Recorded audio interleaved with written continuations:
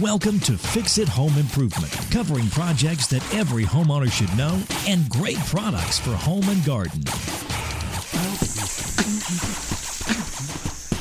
Hi, I'm JC, and this is where we share weekly home improvement tips. I'm here with my co host, Cindy. Hello, JC. Hi, Cindy. This week, we're going to talk about some common electrical mistakes that homeowners make, and we'd like to thank Merkle20 for a five star rating and review on Apple Podcasts. We really appreciate the ratings. And if you've left us a review on another platform, drop us an email and let us know. And also, if you have any topic suggestions. We'd like to thank Player FM for featuring us again on their app. Their podcast app, Home Screen, features new podcasts, and they have search with subcategories to help you narrow your search results for niche content. And you can check them out at player.fm. It's P L A Y E R dot FM, or download the app to any smart device. When electricity started to be run into homes in the late 1800s, it was primarily for light sockets. Wiring through the home was commonly knob and tube. You would have cloth insulated wires that were exposed in attics and between the wood framing. They were supported by porcelain knobs to hold them above wood or insulation because the air was cooling these wires. Hmm. Porcelain tubes were used to protect the wires when they passed through holes drilled into wood. Okay. The first electrical devices had a plug that would screw into the light socket to get their power. In England in the late 1800s, they were developing plugs and sockets for electrical devices. One of the first patents for plugs and sockets in the US was in 1903. Grounded outlets started being used in homes in the 1920s, and one of the first references I found requiring grounded outlets in a home was in 1947. Mm-hmm. And the National Electrical Code at the time said new homes are required to have at least one outlet every 20 feet. and now the spacing for outlets in general areas is every six feet. What do you mean by general area? So there'd be like a living room, a family room, or a bedroom. In kitchens, the spacing is much closer. Okay. I got some tips from Dan Mock at Mr. Sparky. Turn off the power to any circuit that you're working on and confirm it's off with an electrical tester. A shock under certain conditions can be deadly, even at relatively low voltages. If you're making electrical connections for a project, they have to be in an electrical box. The box is designed to help contain sparks and heat from a loose connection or a short circuit, which could cause a fire. When I was investing in real estate in some of these old homes, I found outdoor lights wired without an electrical box, cables connected together Wow. with electrical tape rather than mm-hmm. wire connectors and not in a box, and light sockets in basements and attics wired without an electrical box. Scary. When you're installing an electrical box, it has to be flush with the surface of the drywall to help prevent sparks inside the box from coming in contact with flammable material and causing a fire. Mm-hmm. Another mistake homeowners make is running wire to an electrical box and then cutting the wires too short. This can make it difficult to get a good connection. Right. The wire should You extend. do all that work and you cut it too short. Right, yeah, wow, wow, wow. So the wire should extend at least three inches out of the box. And if you did cut your wire too short, or you open a box and you find short wires, you can extend them with a wire connector and a short length of wire.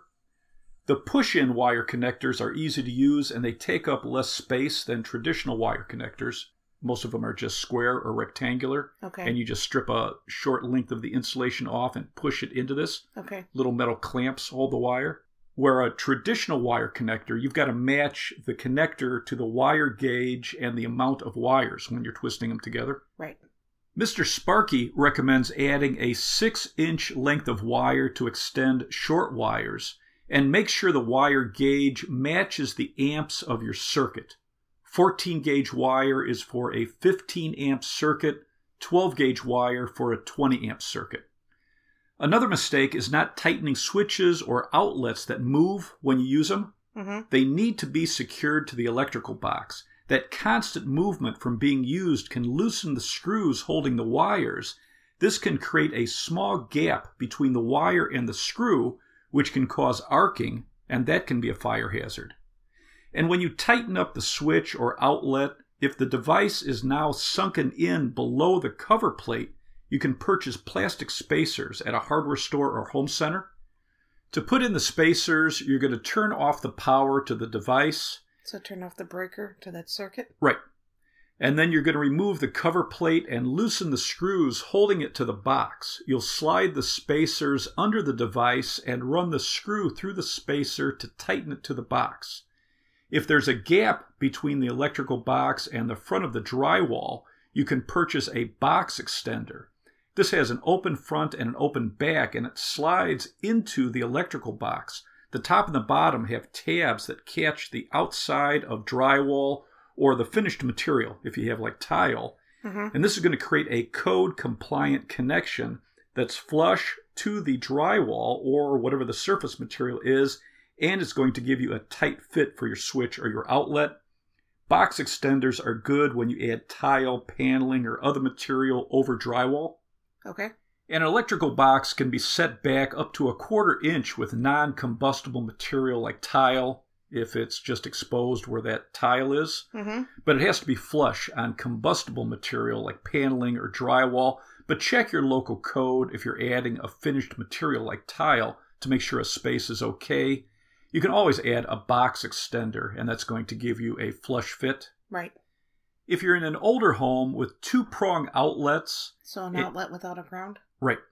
And you plan on replacing these outlets with three prong outlets, check that there's a ground wire. Or if you have metal boxes, make sure the metal box is grounded. Otherwise, when you add a three prong outlet, it looks like you have grounded outlets, but they're not grounded, which could be a shock hazard. Hmm. You want your outlets to be grounded for safety and for your electrical devices. If you plug a surge protector into an outlet without a ground, it won't protect your electronics or your appliances. So it just becomes a power strip. Right, right, exactly. So a surge protector is absorbing and diverting any surges over 120 volts to the ground wire. Right. If you can't run a ground wire to your service panel to protect against shock hazards, you can replace two prong outlets with a GFCI, and this will stop the flow of electric in a fraction of a second if there's a shock hazard. It's also going to protect all of the outlets past the GFCI on the load side. Mm-hmm. You're going to have stickers in the GFCI box that says GFCI protected or no equipment ground. And you have to put this on the GFCI and any outlets past the GFCI on the circuit if you replace two prong with three prong outlets. And that alerts everyone that the outlet isn't grounded. You can check out Mr. Sparky at MrSparky.com. That's M I S T E R S P A R K Y dot com. They have electricians across the country. They're licensed and insured, and the company has a satisfaction guarantee. As long as we're talking about GFCIs, I think a mistake is not upgrading an old home's wiring with either a GFCI outlet or a breaker where they're required. If you're in an older home, you may not have GFCIs in a bathroom, for example. And many towns, when you replace an outlet, you're supposed to replace that outlet with a GFCI if it's required in that area. So that? so GFCI protection is required over kitchen countertops in a bathroom, a garage, outside, unfinished basements, crawl spaces, or any outlet within six feet of water. Mm-hmm. And your local code may vary, so you can call your local inspector when you're replacing outlets if you're in an older home. But this is a great upgrade in old homes to protect against a shock hazard, which could potentially be deadly. Right. Another mistake is putting in a ceiling fixture that gets too hot for old wires. Fixtures that are labeled minimum 90 degrees Celsius supply conductors can potentially generate too much heat for old wires. And a lot of the labels will just say MIN 90C supply conductors. And I saw this recently on a flush mount ceiling light fixture that I'm putting in at a condo that my son and I are remodeling. The fixture is rated for two 60 watt bulbs, and this has a CSA mark with US under it, which means it's been tested and complies with the American National Standard and it meets the requirements for the National Fire Protection Association. What is CSA? CSA is the Canadian Standards Association. Well, why didn't you just say that? so if you see CSA and it has US, it's good for Canada and the US. All right. Homes built after 1985 use wire that is rated at 90 degrees Celsius. The insulation surrounding the wire will stand up to 194 degrees Fahrenheit without damage, Hmm. where older wires are rated at 60 degrees Celsius and they can only withstand 140 degrees Fahrenheit. If you put in a ceiling light and use high watt incandescent bulbs, for example, higher than the watts that the fixture is rated for, the heat could damage the insulation on the wiring in the box and cause arcing between the wires, which could potentially cause a fire, or it could damage the insulation, creating a shock hazard. You always want to limit the bulb to what the fixture is rated at, which is much easier to do now with LED bulbs. Mm-hmm. In my office, I have a floor lamp with a 3000 lumen LED bulb. This has the same light output as a 200 watt incandescent bulb, but it's only using 25 watts of electricity. Mm-hmm. And I was curious about the heat that this generates. Why? So, well, like with that fixture that I'm putting into the condo, two Right. 60 watt bulbs is too much heat for older wires. So I was curious how much heat these bulbs are putting out. So I turned this LED on for 10 minutes, and this is the same as like a 200 watt incandescent. Right.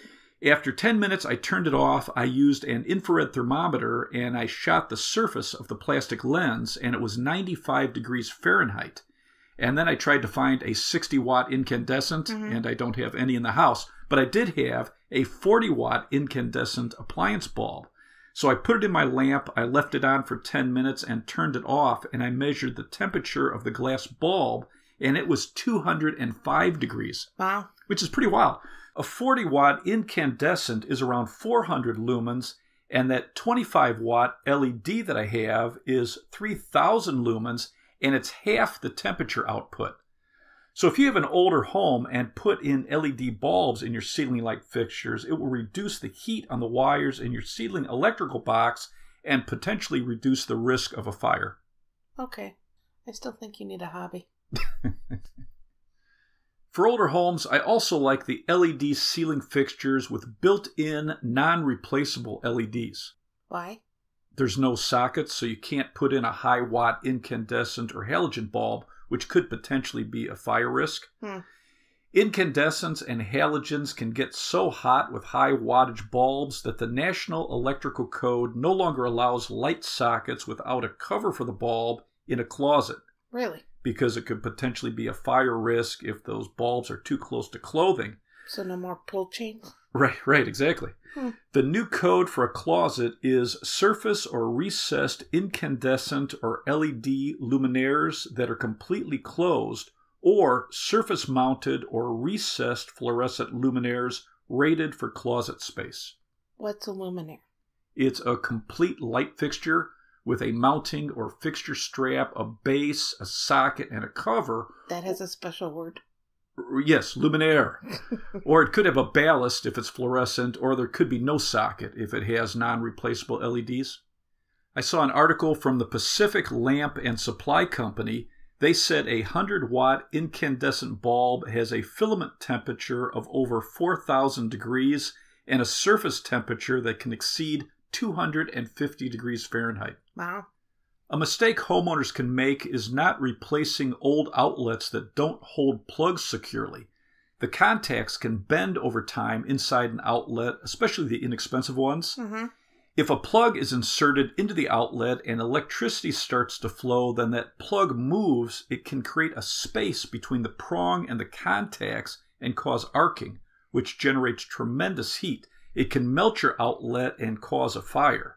And for most arcing in outlets, it won't trip a standard breaker. That's why the electrical code now requires arc fault protection for new construction and when replacing outlets in many towns. Hmm. The code says kitchens, family rooms, dining rooms, parlors, libraries, dens, bedrooms, sunrooms, recreation rooms, closets, hallways, laundry areas, or similar rooms shall be protected by AFCIs. either outlets or breakers. And that's arc fault circuit interrupters. If there's arcing on any of the wires, it will turn off the electric in a fraction of a second to prevent a fire. Mm-hmm. So it makes a much safer home, especially if you're in an older home. A study done by the National Fire Protection Association found between 2010 and 2014 there were over 45,000 home fires involving electrical failure or malfunction, and it caused about 400 deaths a year. Wow. Check out our episode called GFCIs and AFCIs for more detail and tips. I'm sure it was exciting. It was one of our best episodes ever. Many homes have switched outlets. Usually, one side of the outlet is always on, and the other side is controlled by a switch. Mm-hmm. When an outlet is wired like this, the hot side will have two wires going to the brass screws. That's the side with the narrow slots. The other side with the silver screws will have the neutral wire or wires. When you're replacing a switched outlet, you need to break the brass tab that connects the two screws on the hot side. You can use a needle nose pliers and bend it back and forth to snap it off, and this is going to separate the two receptacles. Mm-hmm. If you don't break the tab, your switch won't work. When you're replacing outlets, make sure to wire them properly. The brass screws, the side with the narrow slots, that's the hot side. The silver screws, the side with the wide slots, that's the neutral side. If you have non metallic cable, your hot wires will be black or red. If you have individual wires run through conduit, the hot wire can be any color except white or green. White is neutral, green is ground. Right. And with non metallic cable, the bare wire is ground. right. If you wire your outlets with the hot and the neutral wires reversed, it can be a shock hazard. Mm-hmm. An outlet tester can be used to check that you wired your outlet properly, and it's a great tool to check all the outlets in your home if it had a previous owner. It's going to test for the most common wiring problems a disconnected or missing ground, neutral, or hot wire, or whether the hot and neutral wires are reversed or the hot and the ground is reversed. Right. Another wiring mistake is putting two wires under one screw terminal on a switch or an outlet. You're only allowed to have one wire under a screw terminal. The wires can separate or create a gap that causes arcing. That's a fire hazard. Right. Some devices will have a metal plate under the screw terminal and two holes under the screw, and that way you can push two wires under that plate and tighten them down with the screw. But if you don't have that design and you need to connect two wires to one screw, you would create a pigtail with a six inch long length of wire matching the gauge to your circuit. You would connect the two wires and your pigtail wire under a wire connector, and you would use that one pigtail wire underneath your screw, and that's going to give you a safe connection. Cool. When you're removing the insulation on wires for a wire connector, make sure no bare wire is exposed. The bare wire needs to be completely in the wire connector so there's no chance of a short circuit or arcing. And when you're stripping wire for switches or outlets, the bare wire should be completely under the screw and stop at the bottom of the device. You shouldn't have any exposed wire past the switch or an outlet. Right. Some top rated GFCIs come from Leviton, L E V I T O N, Lutron, L U T R O N, GE, Eaton, E A T O N, and Pass and Seymour, P A S S, capital S E Y M O U R. Some top rated AFCIs are from Leviton and Eaton. Some top rated electrical testers Klein Tools, K L E I N, capital T O O L S, Sperry, S P E R R Y, Amprobe, it's A M P R O B E, and Fluke, F L U K E. Some top rated wire strippers come from Gardner Bender, G A R D N E R, capital B E N D E R, Klein Tools, and Irwin, I R W I N. Some top rated screwdrivers come from Craftsman, Milwaukee, Klein Tools, and Wiha, which is W I H A. And headlamps. If you're turning off your electric to an area to do a project, which always turn off the electric to any circuit you're working on. I like headlamps. I know. So some top rated headlamps come from Fenix, F E N I X, Coast, C O A S T, Black Diamond, B L A C K, capital D I A M O N D, and Wuben. It's W U B E N. And Wuben has a lightweight cap headlight that rotates. It's pretty cool. and headlamps are also handy not only for home improvement projects, but for camping, hiking, fishing, and emergencies. Yep. Do you have anything else to add? We'd like to thank Mr. Sparky for helping us with this episode. And if you're unsure or uncomfortable with any electrical projects, call a pro because electrical projects can potentially be dangerous. Right. Let's wrap this up. You can subscribe to our podcast on your favorite podcast app. If you enjoyed it, please leave us a review. You can check out our home improvement videos on our YouTube channel, Fix It Home Improvement. And you can subscribe to that as well. You can download our ebooks, Home Improvement Solutions, What Every Homeowner Should Know, books 1 through 13, and soon book 14 on Amazon. If you enjoyed it, please leave us a five star rating and review. You can email us at fixitpodcast at gmail.com. You can follow Cindy on Twitter at fixitcohost, and you can follow us on Instagram, Fixit Home Improvement. Thank you for listening. Talk to you next week deep.